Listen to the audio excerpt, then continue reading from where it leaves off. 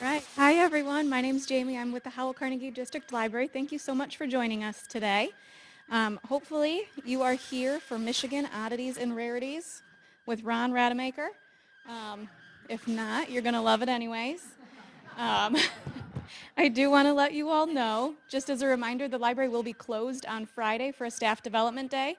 Um, so hopefully you weren't planning on coming Friday. This, this event is scheduled to go until 7.30, which is after the library closes tonight. So the front doors will be locked and we'll all be exiting out the back. Um, if at any time during the presentation you need to step out, take a call, use the bathroom, the double doors right behind you with the big red exit sign, there's bathrooms down that hall and the exit. Um, I want to let you know about a couple upcoming programs we have here at the library, and all of these little flyers are on that back table. If I mention something you're excited about, please help yourselves. Uh, tomorrow, we have an instant, no, a pressure cooker cook-along with Janice, uh, hibachi fried rice, individual brownie cakes, and you do have to register for that one. Um, after that, we also have a knit night uh, the next event will be next week, Wednesday, April 13th, 6 to 8. You do not need to register. That one is drop in, and it is the first, no, second and fourth Wednesdays of the month. Um, we have a virtual event coming up, a partnership with the League of Women Voters. This one will be Tuesday, April 19th, 7 p.m. If you register online, you'll get the Zoom code for that one. Um, and last one, Well Told an evening with audiobook narrator Luke Daniels, who I'm told is fantastic. That one will be live in person Thursday, April 21st, 6:30. No registration required. You can just drop on in. Um, like I said, these are all on the back table, and they are next to um, our little evaluation slips. We ask that you do fill these out. We use them as part of our planning. We like getting your feedback. It helps us make more events that you will like. All right. And that is all from me, I promise. I'm going to introduce our presenter. This is Ron Rademacher. He is a Michigan road trip expert. He has six books in print about road trips to out-of-the-way places in Michigan, and his first children's book came out in March. Ron operates two road trip websites, michiganbackroads.com and upnorthmichigan.com. He also has a monthly web magazine, travelinmichigan.com, and a podcast, mibackroads.com. Ron is here today to talk to us about Michigan oddities and rarities. So thank you, Ron. Take it away.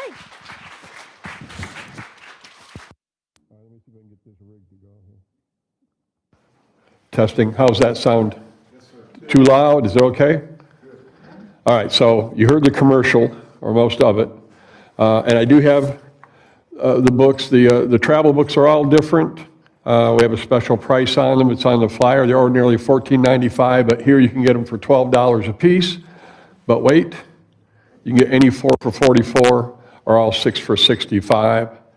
The Bob the Turtle book uh, is a little bit different situation. It's the first children's book I've written. It's the first in a series of three. It's for four-year-olds and up. It's a teaching book. It teaches uh, some math, some vocabulary, some tree identification, safety in the woods. And as luck would have it, this edition has a printing error. You may never find it. It's not a typo. There's an extra word on one page, but because I know it's there, the book is being reprinted. So this is half price. You can get it for 10 bucks. Uh, and it's, there, it's designed for little kids, little hands, and that's the end of the, uh, I'll be glad to answer questions about the books. This program that we're going to do tonight is Oddities and Rarities, and it's based roughly on uh, my oddities and rarities book. Now, my websites get a lot of traffic, a lot of traffic. And the only email address on the websites is mine. So if you send me an email, I will answer that email. I'll be the one who does it, and I read all of them. And I get a lot of emails. Some uh, are very pertinent to what I just said. They're usually things like, Did you know that on page 37 you misspelled? Right, I get a lot of those. and then the other one I get so many of is, Hey, I grew up in that area. And what you're talking about is nowhere near around there. You've got to be wrong about. It. So I get a lot of those. And I got an email a little while back from some people from Wisconsin. And they were going to travel across the Upper Peninsula and come down through the lower on their way to Ohio, of all places. Not sure why you would go to Ohio, but that's where they were going. And they wanted to, if anybody from Ohio, don't worry, when I'm going the other way, I make fun of Wisconsin. But they wanted to know about some of these places that were in the book. They'd heard about it, they'd heard my podcast, they'd heard me talk about some of these out of the way places, and they wanted an itinerary where they could stop a few places. And I asked them what they really wanted, and they said, well, they wanted to stay on, off the highways if they could, and they wanted them to be real things. They didn't want to go to any haunts necessarily. They wanted real things they could put their hands on. And it wouldn't hurt if I mentioned a couple of good places to stop and stretch their legs and get something to eat. So I, and I asked him if I, where I should send the invoice. But uh, so this is a pared down version of that trip. And since they are coming from Wisconsin, we're going to start in White Pine. Now, the map you'll see there's the their upper and lower peninsula, and you see the star up in the left of the Keweenaw of the upper peninsula. That's where White Pine is. White Pine is a town which you will never find. Uh, even if you're going to the Porcupine Mountains, you're, you're probably not going to find this town. It's off the beaten path. And White Pine was pretty much a ghost town. Uh, and still is pretty much a ghost town. But when it was originally a ghost town, it was because there wasn't anything there. This is rush hour back in the day in White Pine. Then a fabulously rich vein of copper was struck. And the White Pine Mining Company came in and be prepared to dig a mine. It turned out it was going to be a deep mine, it was going to be wet, it was going to be cold. And, but there was fabulous riches to be found. and They couldn't find people to come there and work because their spouses and kids said, no, I don't want to go there. Where it's like that for seven months of the year. There's nothing to do there. So the company built the town of White Pine, big, wide boulevard streets. Uh, they built a school. They built a hospital. They, bought, they, they built the fire department. Everything you could possibly need. Still not enough. So they built a shopping mall and gave very favorable rents for good companies to come in and put shops in there. And they built an entire town so that they could do their mine. The mine was very successful. The town built up. Engineers, doctors, everybody came. Fantastic. 1950s come, the copper mine peters out, copper mine closes, everybody splits. If you go to White Pine today, it is a ghost town. Even the marathon station is closed. There's not a bar in town. There's one bar in town, but there's no place to buy a newspaper or beer and bullets, any of that kind of stuff. What is there is the motel. Now, this is worth going to, and this is where I told our Wisconsinites to stop for lunch and for the special show. This is open year round. It's just on the edge of town. You can't find it unless you go behind the mall. And there's this motel. They have saunas there. They have hot tubs there. They have a swimming pool. They have a three-lane bowling alley. Uh, they have, you can, snowmobilers go there and hunters go there, they can just go in and pay a, a nominal fee, get a nice hot shower. Wonderful place. And they have great food. I mean, really good food. One of the best bacon cheddar cheeseburgers I've ever had in my life was in this place. Good food. But what you want to do is you want to go for the show, which happens year round, and it happens right after the lunch hour and right after the dinner hour, and you want to get by those windows way in the back, that wall of windows, that's where you want to get to. And what happens is right after lunch and right after dinner, you'll see a cook come out of that window at the end. He'll come out of the kitchen and he'll have a great big stock pot and he'll run out into the yard and he'll dump the kitchen scraps out, and then he will turn and he will move it getting back there. are No slow cooks working at the Konteka. Because just a couple of minutes after that door closes, here comes Scruffy. This is a genuine wild bear who lives over the hill. This is a big bear. When we first saw it come out, we thought it was a buffalo or something coming out of there. This thing has paws this big, and there are now five of them. My grandson just went last summer and he told, they told me that the scruffy is there, and there's a, another one, and then three cubs. They come out year round. This picture is taken right through those windows. They get them up to about 15 feet. So if you want to take, if you're going to be in the Porkies or anywhere in that part of the state, and you're looking for a good place to eat and a free show, when it's dark, it's dark early, some parts of the year, they turn the lights on. And these bears come out all year long, except when they hibernate and when it is bear hunting season. They seem to know. So this is where I told the folks to stop uh, coming from Wisconsin on their way to the Keweenaw Peninsula. Now, we're only going to go to one spot in the Keweenaw because we have a lot to get through. I get long-winded and I have a lot of stuff I want to show you. But that star is right at Calumet. And if you've never been to Calumet, it's well worth the trip. Uh, you get there and there's this gigantic thermometer, uh, like 80 feet up into the air uh, by the side of the road. That's where they measure the snowfall. And their highest year was 308 inches. Of snow. I understand they had over 300 inches of snow this year. But what I'm going to tell you about is the Keweenaw Wall. Now, if you've not heard of this, you can Google it up. I'm not going to give you directions to it because it's on private property. But you can go as long as you don't damage anything. The owners don't mind. This is a bad picture from way, way, way back. Down on the right-hand side, it says Profile Rock. You can see some men standing up there. And they call it Profile Rock because they thought that it looked like the profile of a Native American. But no one knows if this is a natural formation or if it's man-made, and you'll see why in a minute why it's a mystery. So this is what you're going to be going to see. It's a, a deep, deep, steep gorge. So you Google this up, it'll tell you exactly where to go. You park by the side of the road. There are no services, so take everything you're going to need, and you walk down this path, and you go less than 100 yards, and you'll come to the edge of the gorge, and this will be the first glimpse you have of it. Then you can go down into the gorge. So that's me. You can see the you can see the wall just through the trees. I'm on a, the other side of the wall, which is all broken off, and it's almost like stairs going down. Uh, I'm going to say this is probably 60 feet down into this gorge. Very steep. Make sure you're in shape for it. That's me at the bottom. You can see how tall the wall is, and notice that it's leaning to the right.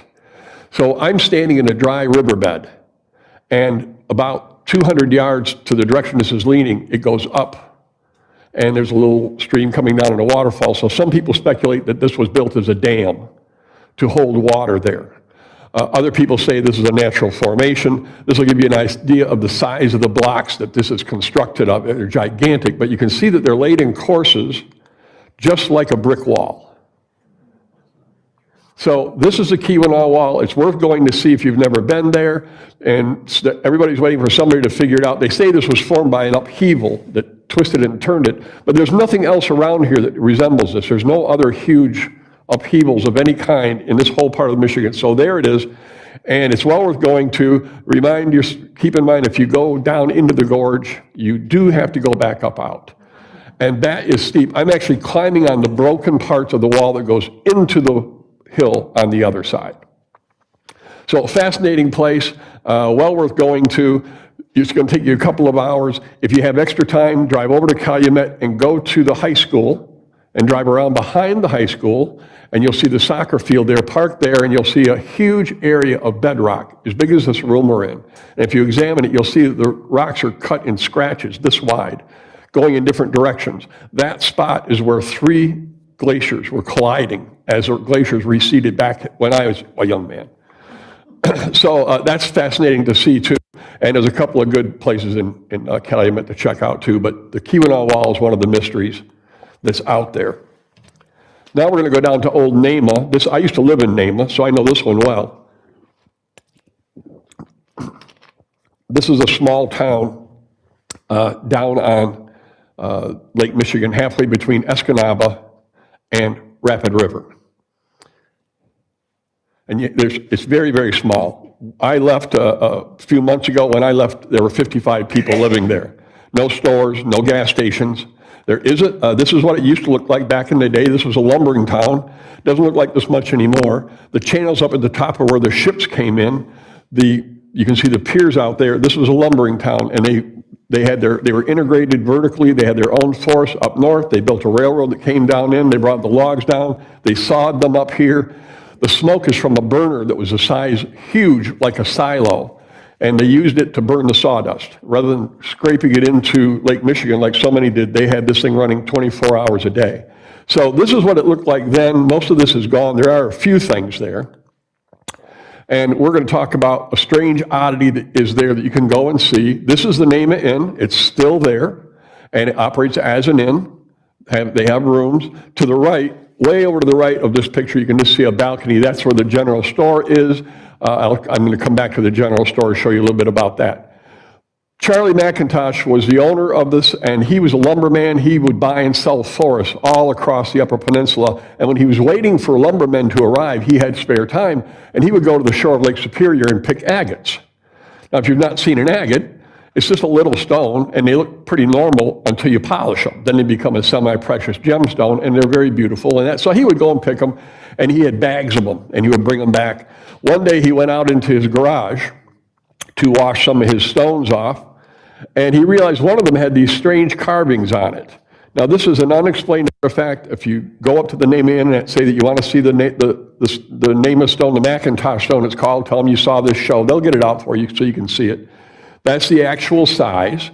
And this was one of the things that he picked up up in the tip of the Keweenaw Peninsula, 50 feet above Lake Superior. Now, this is one side of it, and a lot of this is gobbledygook. A lot of people just don't know. Let's see if I can get a pointer going here for us.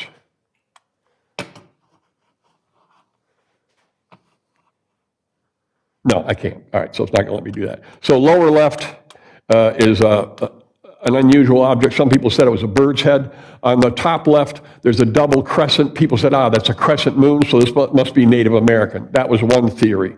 On the other side, uh, again, on the left, people thought, oh, there's a spider. He's got a big fat body and two legs here and two legs here and legs, that's a spider. And so it must be Native American because that was, had the spider. The other things, nobody knew anything about what it was. So I took this stone to the Ancient Artifact Preservation Society conference in Escanaba a few years ago. Charlie let me take it. These are people who study this kind of stuff. Nobody had any idea what it was, but one person said, well, I think that crescent moon might be something else. So I took it back. It was at the end, sitting in the bar talking, and uh, some of the guests were there, and they said, well, can we see this, this stone? We want to see the big pictures of it, because it's very hard to see, it's little. So I brought these out, and when this picture was there, a woman was sitting there, and she said, can you flip that over? I said, oh, you want to see the other side again? She said, no, I want you to flip it I flipped it. And she said, Well, that's a man right there. And so we're all, What? And she said, Yeah, see, here's a man. Here's his hairline. There's his mouth. There's his eyes. This is his shield. He's kneeling. She said, Can everybody see the man's head in that description? So when we started looking at it, then we realized this is another man. These are his shins. He's seated.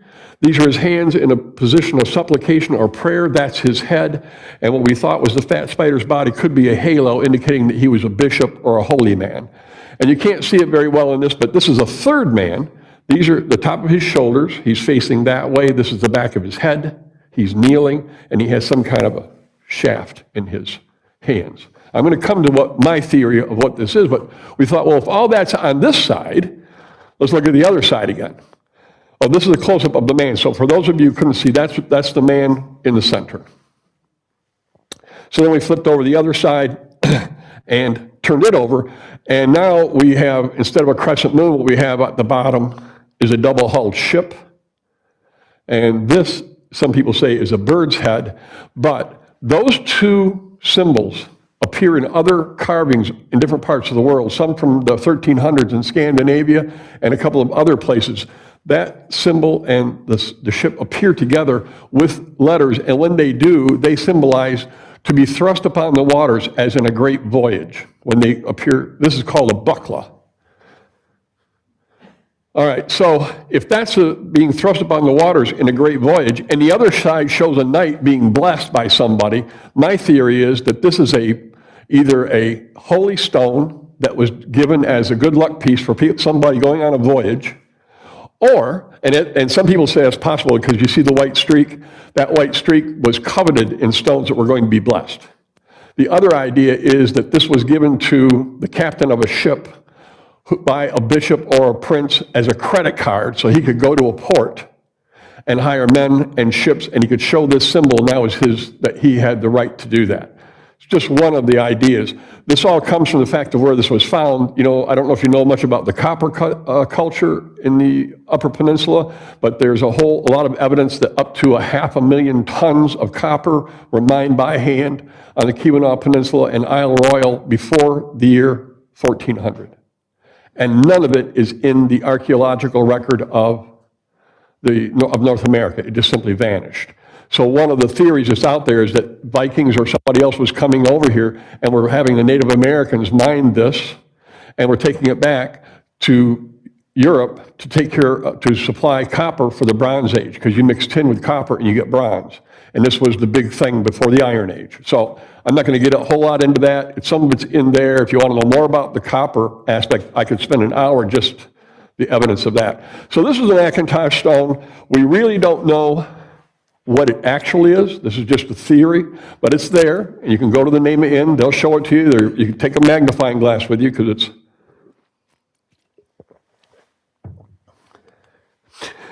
The general store I mentioned earlier, the general store is still there. At one time, you would go there when you worked in this, for this lumber company, and everything you needed you could get here tobacco, medicines, food, and you paid the company prices. Uh, They still have a big museum on one side, and one wall shows all these artifacts. Up in the upstairs, there's a microwave machine that was used in one of the mental hospitals to bring you back to reality. Still there, still has the, the instructions. Uh, So this is well worth visiting, and they also have live music there. And an interesting incident took place in this general store way back when everything was still operating. There was a guy there who was working with the lumber company, and he was waiting for his schooner, which was going to launch and take him around to where he could catch the train back to Milwaukee. And so he was killing some time in the general store, and he came across a statue very much like this one. He was just kind of looking at this thing. And the proprietor came over and said, Oh, I, I see you're admiring this beautiful sculpture. And the guy said, Well, I don't know if I'd call it beautiful, but you know, it's, it's kind of different. And he said, the guy said, Well, yeah, it's a very unusual statue. And the guy says, Well, the only thing I see unusual, other than how bad it looks, is that there's no price on it. Everything else here has a price. There's no price on this statue. And the storekeeper said, Well, it's because this has two prices. See, if you just want this beautiful sculpture to sit in your home, you know, which everyone will comment on, it's five bucks. But if you want to know the history and the mystery behind this statue, it's another 50. It's 55 total. The guy's like, geez, 55 bucks a lot of money. He said, but, you know, Mother's Day is coming. I got to get her something nice. Uh, he said, I'm in a hurry. My boat's going to go. Here's five bucks. Just give it to me. Don't even bother to wrap it. I'll wrap it when I get. So he takes his, and he's going. And he's walking down the street, down the boulevard, headed around to where the piers were, you know. And you ever have that feeling that someone's watching you? You ever get that feeling that somebody's, well, he starts to get that feeling like he's being watched, and he looks around, and sure enough, behind him, following him, is a big fat rat. He's got his statue, and there's a rat following him. He keeps going, and the feeling gets stronger, and he looks back, and now there's about a dozen rats following him. So he starts going faster, then he can hear, and he looks back, and there's hundreds. And he freaks out and he takes off running and he runs down and goes right by his ship and takes the statue and throws it onto Lake Michigan as far as it will go into about 15 feet of water. And all these rats come tearing down right across his feet, jump in the water, swim out and dive down, and they all drown. And he's safe. And he's like, wow, close call. And then it comes to him. And he turns around and he rushes back to the general store. He goes running in, he's looking all over, and the proprietor said, Oh, you, you came back to pay me the $50 to learn about the history and mystery of that statue? The guy says, No, I don't care anything about that. He said, Do you have a statue of a politician? This is all, this is all true. Oh, and speaking of gifts, I have a, I have a, a tradition. This is April 6th, right? Anybody have a birthday today? Anybody have a birthday? You have a birthday today? This is the 5th? Okay. Anybody have a birthday in April? Just one person has a birthday in April? I'd like to, you to have a copy of, what, April? I have an April birthday, What date? 18th. 30th? So I'm going to give you a birthday present. Happy birthday. And it's signed, yes. So, yeah, well, just, I always like to do that. Come back next year, I'll try and get one right at the 30th, so we'll. So now we're going to move on across. I got, so we get, keep going. Now we're going to go to Newberry, right there in the center of the UP, and uh, that's the gateway to Tahquamenon Falls, so you may drive through there. In 1867, 1869, in that period right in there, a gigantic windstorm blew through the Upper Peninsula, and it knocked down all the trees. I mean, knocked a, knocked a lot of them down. And it, the, this is how the rootstock of trees in the Upper Peninsula look. They're, they're, there's only about this much topsoil. And so their, the roots spread out, and these trees fell down. The farmers were all delighted because it meant they didn't have to go out there and cut them down and pull the stumps. So were, the, the McGurr brothers were out on their farm, and in the rootstock of one tree, they found a statue. In fact, they found three statues stuck in the roots of this tree. This is what the statues look like. This is the actual photograph from 1896. This photograph was sent to the Smithsonian Institute. You can see you've got a tall one like a man, a medium one like a woman, and a little one like a baby.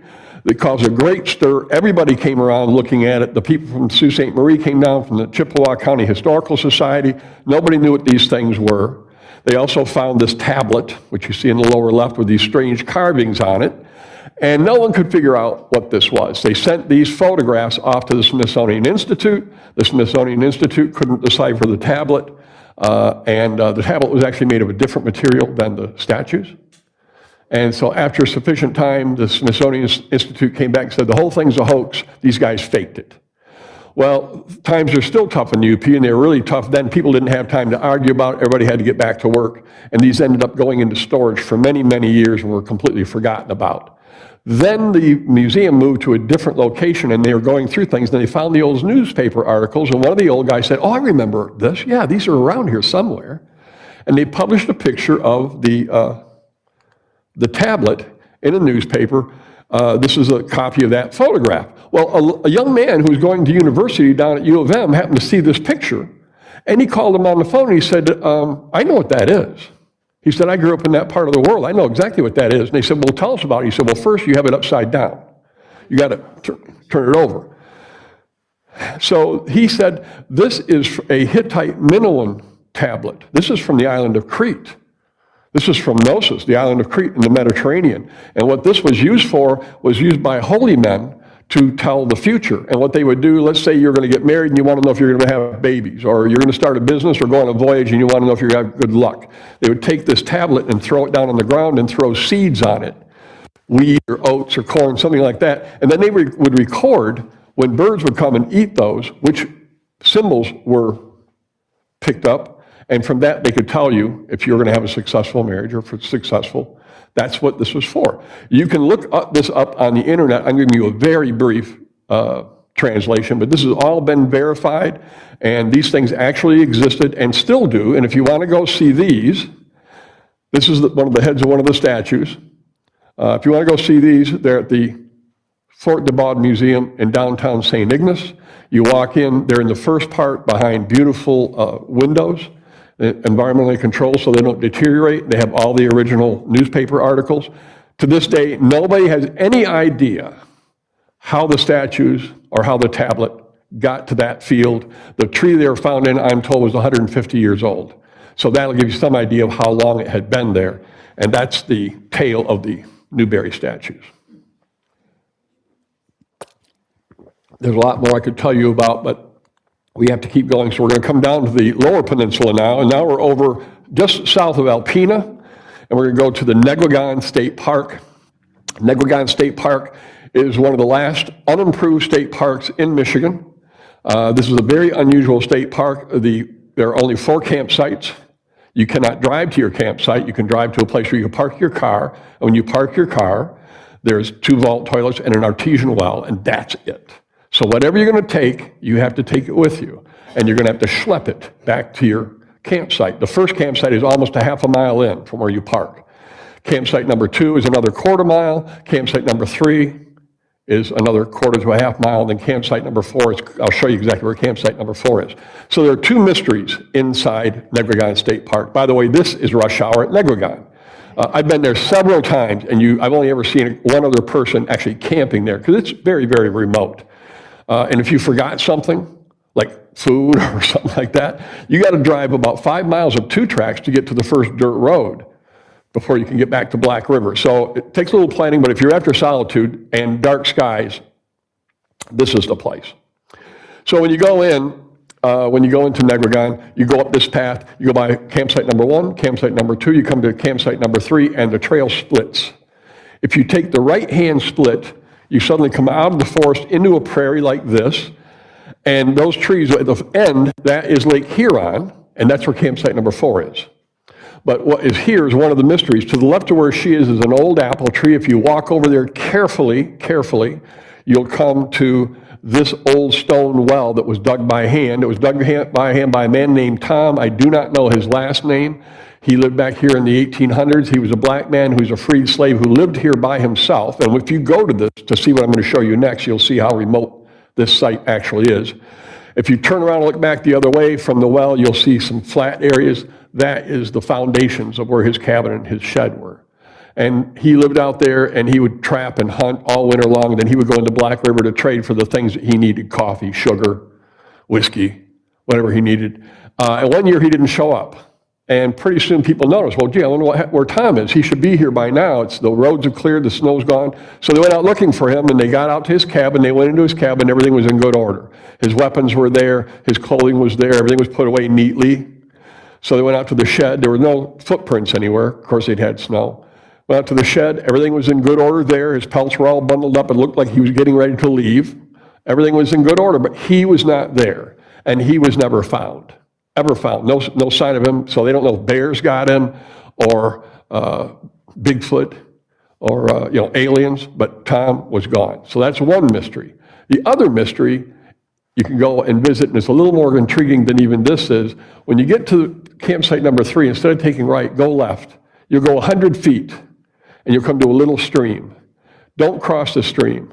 Go down into the swamp, and it's going to be kind of wet, so you want to plan for it. And you have to go this time of year or after the first hard frost, otherwise, you'll never find what I'm going to show you.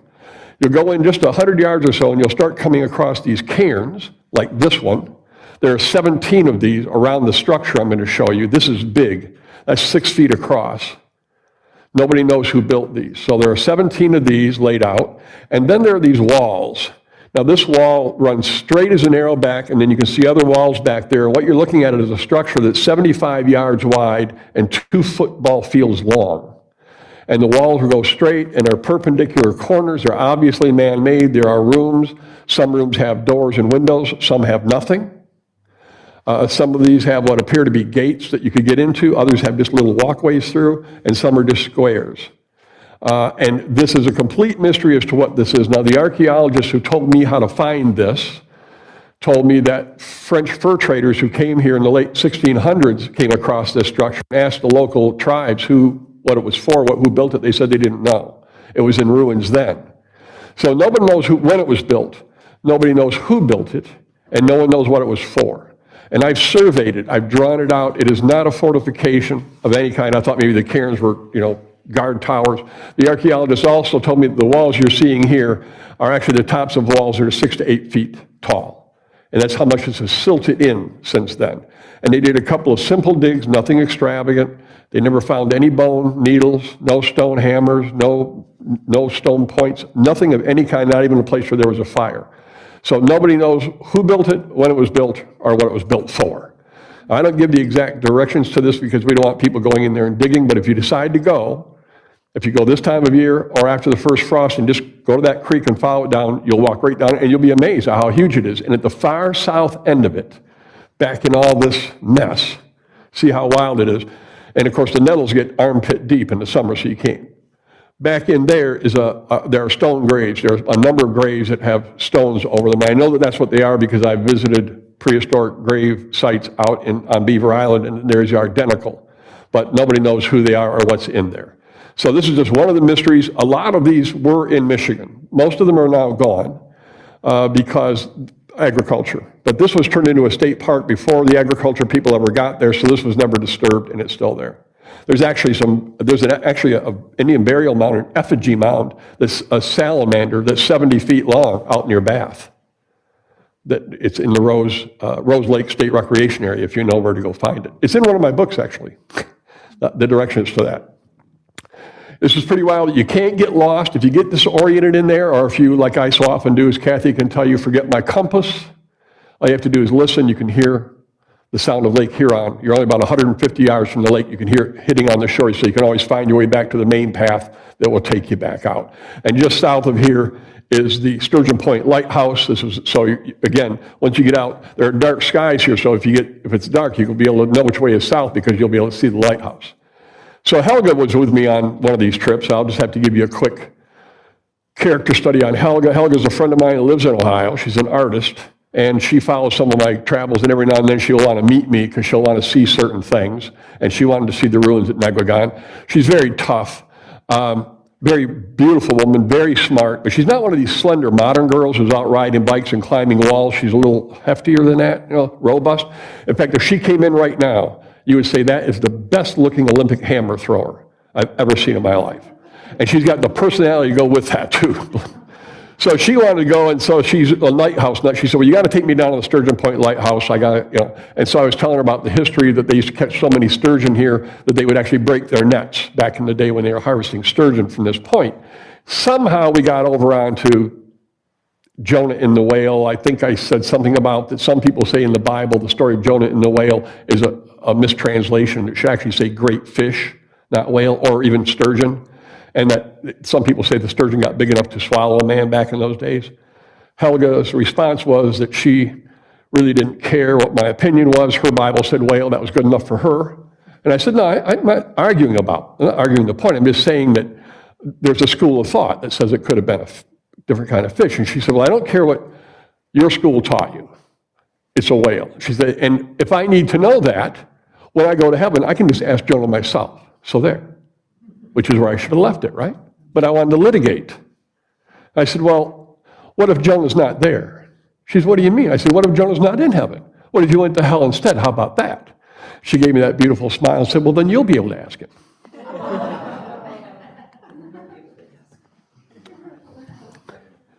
We're going to come down to Baldwin now. I'll keep things moving along here. This is where you'll find the Shrine of the Pines. This little tiny building here is a remarkable museum. This has the largest collection of white pine rustic furniture in the world. They're open from May 1st till Labor Day.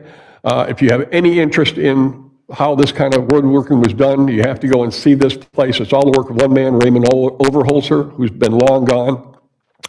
This is the interior. There are over 200 pieces inside. That's his desk back in the back. This is his dining room table, his chairs. I'm going to touch on these.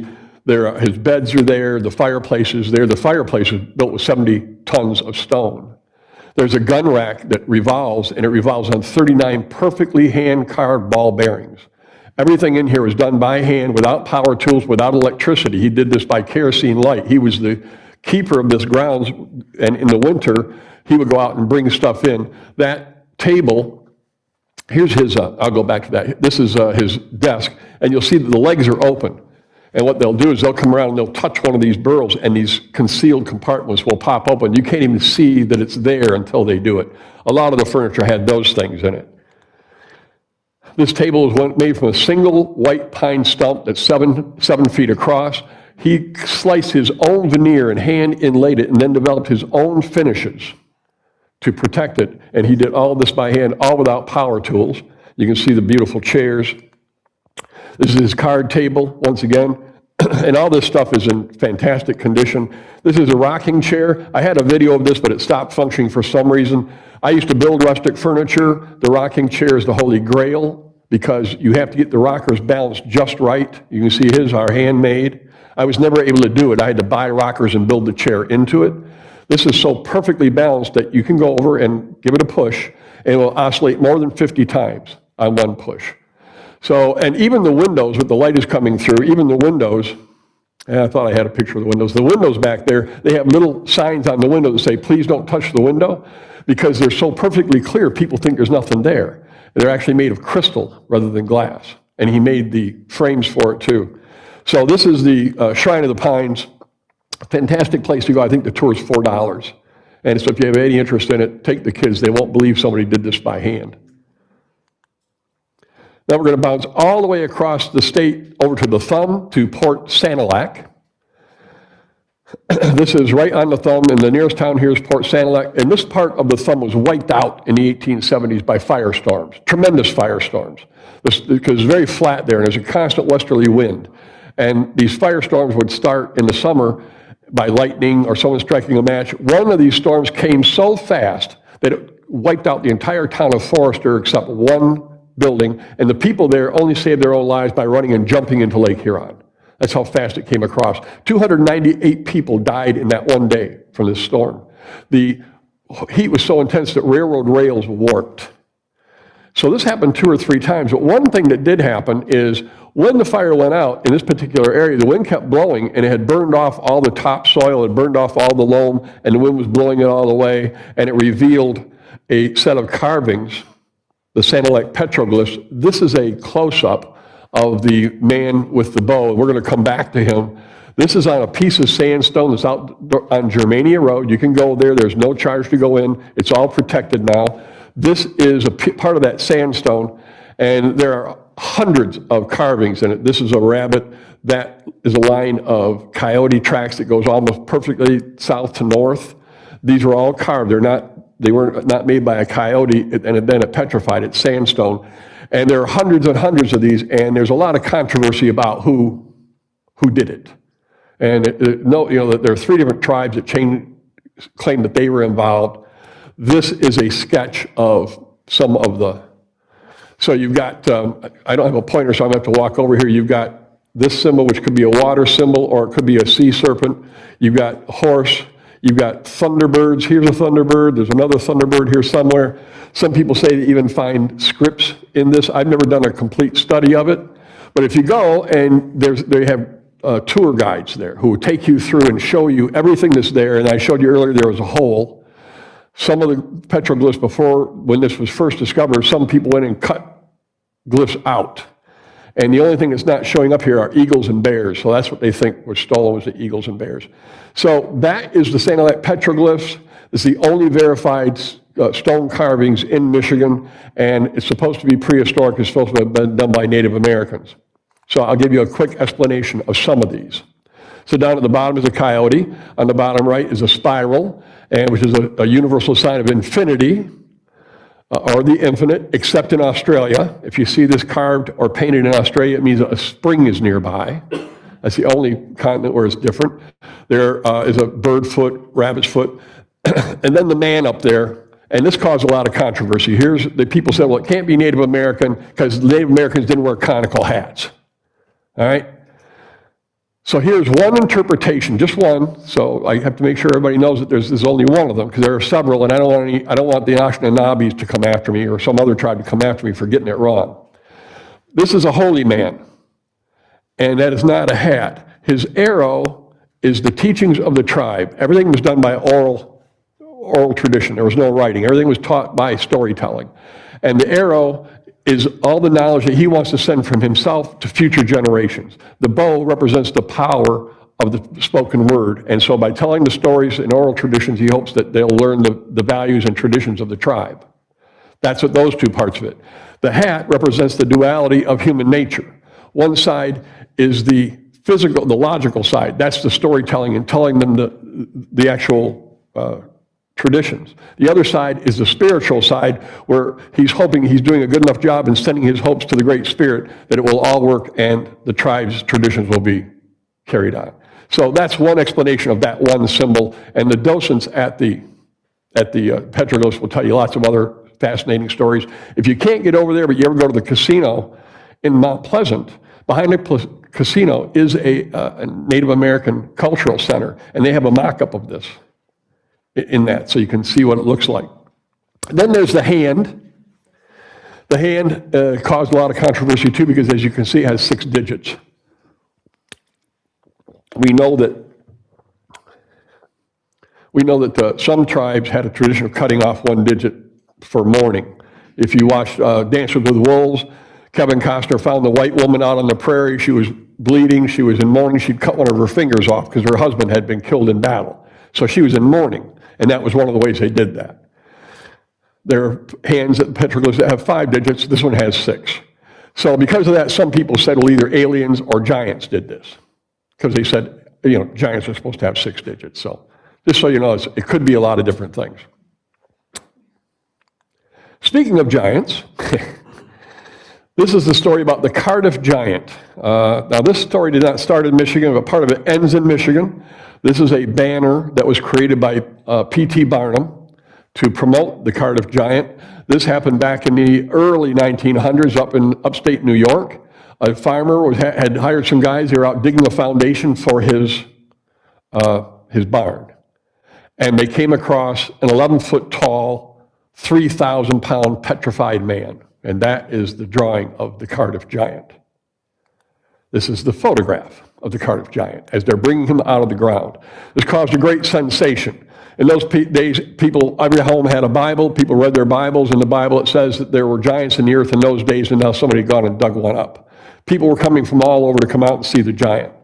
P.T. Barnum came out because he wanted to get the giant for his greatest show on earth. And he had the American Oddities Museum in New York, and he wanted the giant for that. But the farmer was too smart for that. He said, no, not going to do it, because he knew, just from the traffic he already had, that all he had to do was build the right kind of wagon and head over and head down the East Coast and go to all the towns, and people would pay good money to come and see the giant, which is what he did. That didn't stop P.T. Barnum. P.T. went and bought himself a three, a, a nine foot, excuse me, a- an 11 foot long piece of granite and hired a couple of sculptors and had them carve him a copy. And then he put acid on it and dirt on it and set it on fire to age it. And then he put it on his wagon and they headed west to come out to the Midwest to wow all the towns out Chicago, St. Louis, Kansas City, all that. Now, the story is told that eventually P.T. Barnum hit the Mississippi River, so he swung back and started heading back east. The farmer got down as far as South New Jersey, there was nothing south of there, so he decided to head west.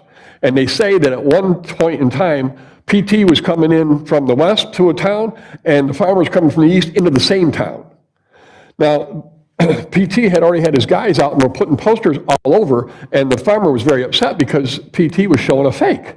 So he went to a judge in town to try and get an injunction to stop PT Barnum. And the judge gave him the injunction to stop PT from being able to show his copy. About this time, the chemical uh, tests for the original one came back. Tra- things were slower in those days. We didn't have Facebook or anything, so news traveled slow.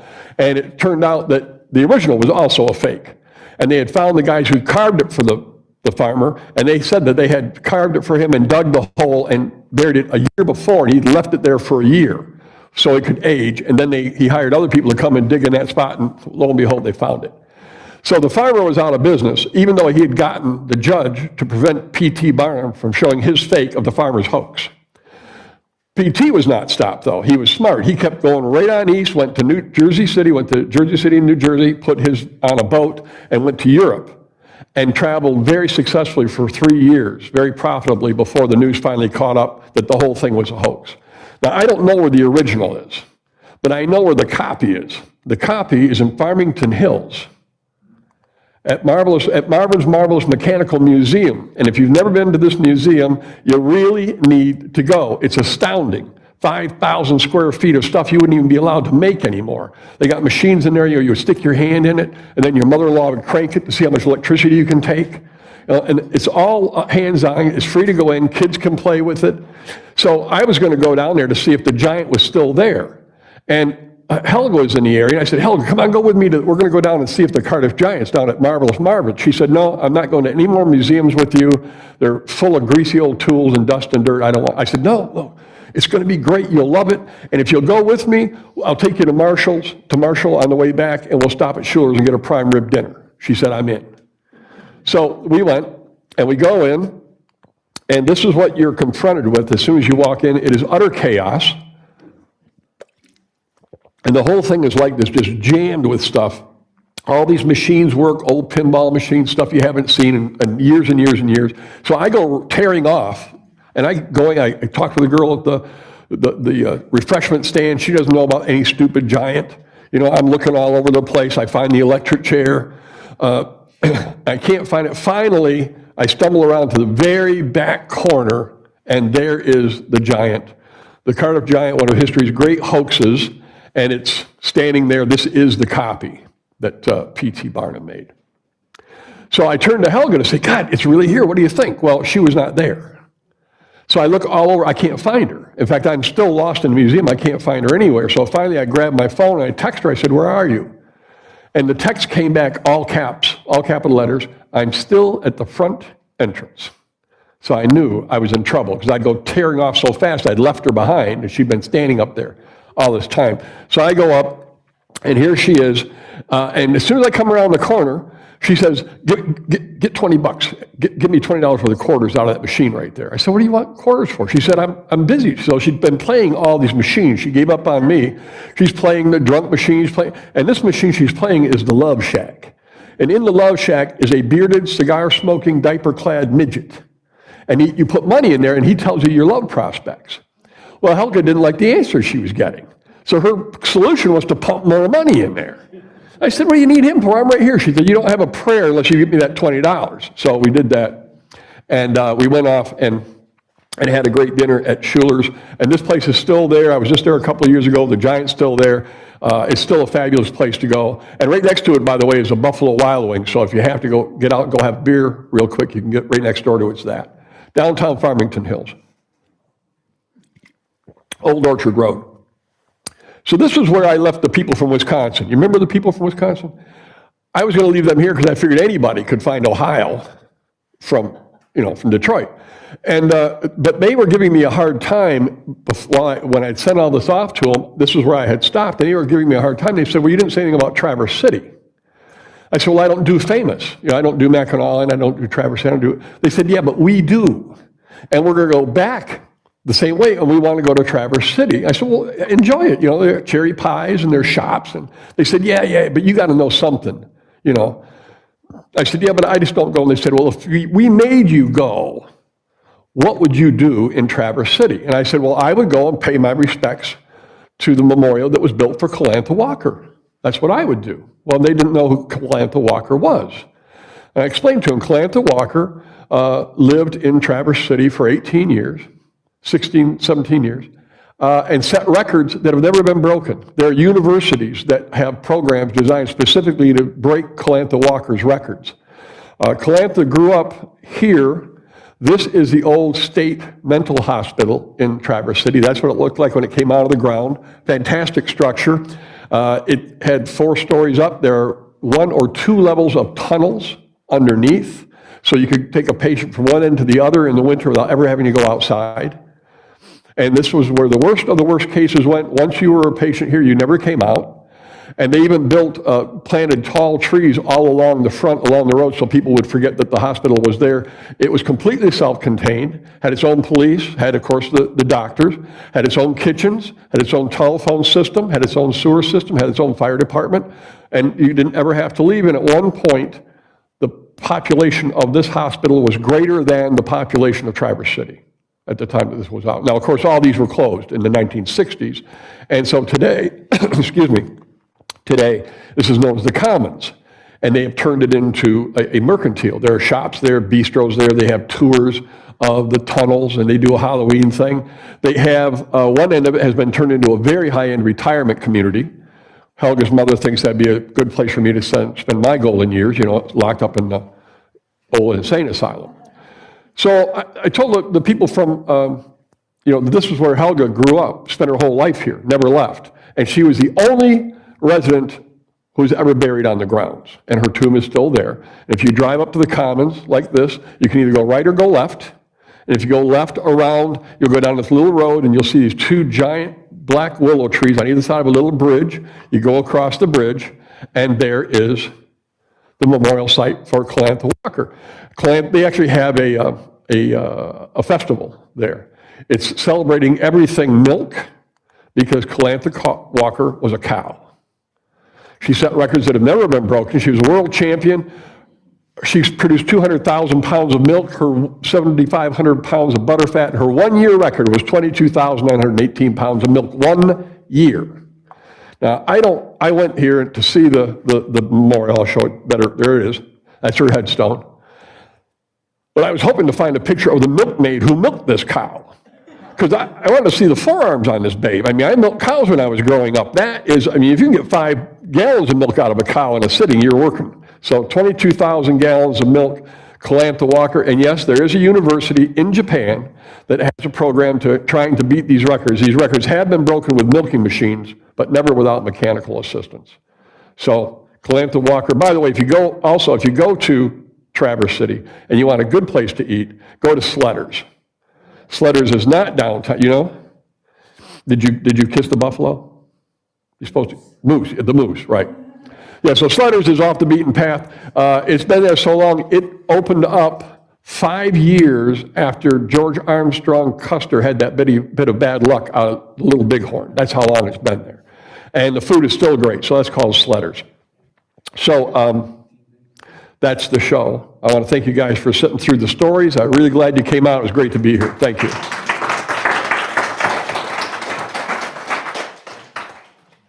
So, questions?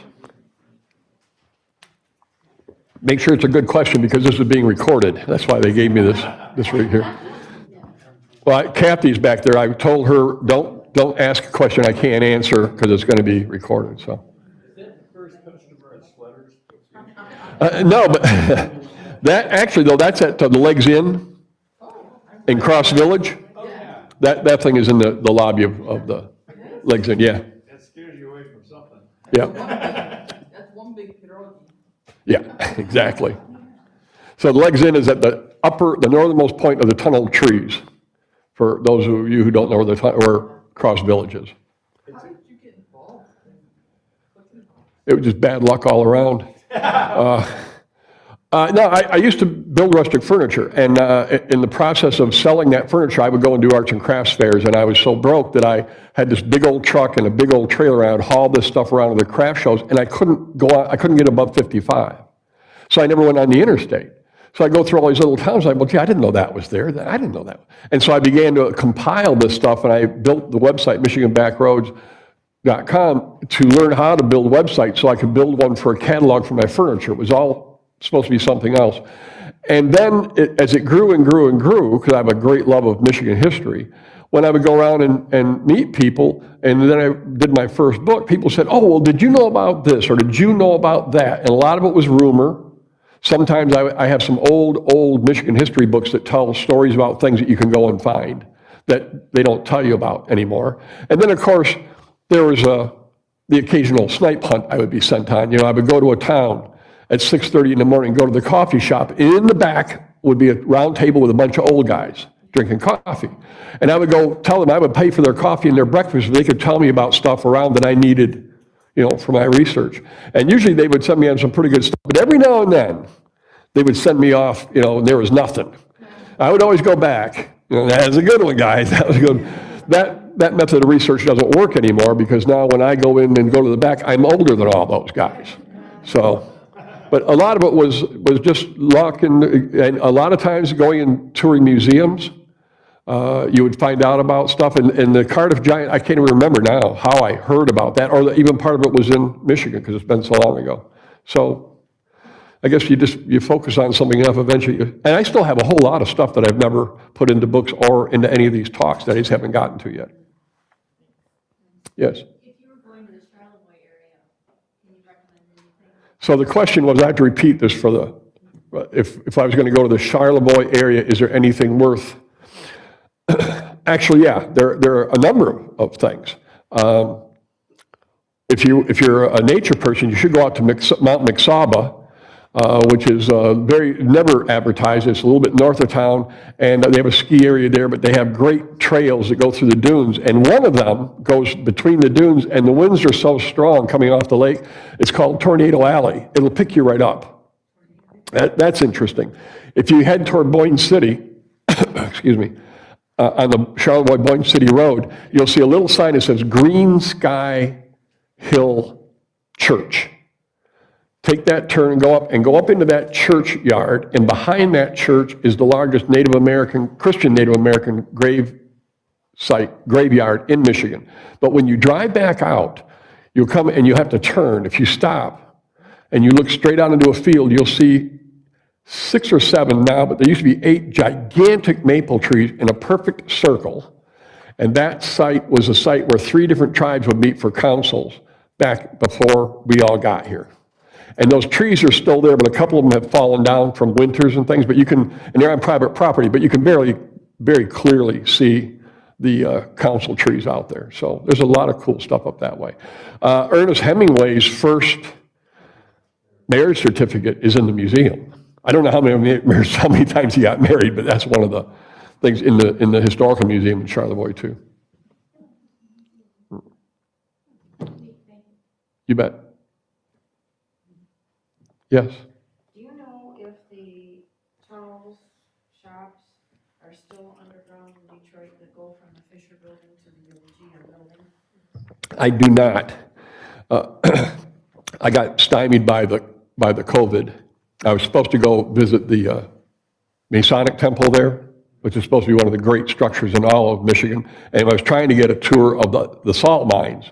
And I was going to do that too. Question after that, but I want to know about the tunnels. I went there when I was younger. Yeah, so I, I- I have not been. So it's, it's, it's on, it's on the list. They were actually like shops, you just went down there, it was just like Yeah, shops on the ground. yeah. Don't know, but hopefully I'll find out. Okay, thank you so much.